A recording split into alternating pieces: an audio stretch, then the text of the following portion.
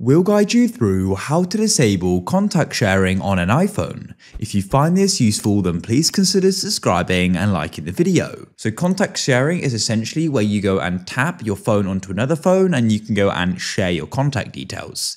You may not want this if you've got two phones, like a work and a personal one. They keep on sort of triggering. It's happened to me quite a lot. So what you need to do is go and open up your settings like so. Then in your settings, you need to go and scroll down like this until you go and see the option for general and click there.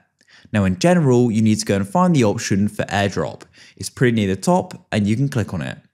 And then all you want to do is go into this section, start sharing by, and it says bringing devices together. It says easily swap numbers with NameDrop.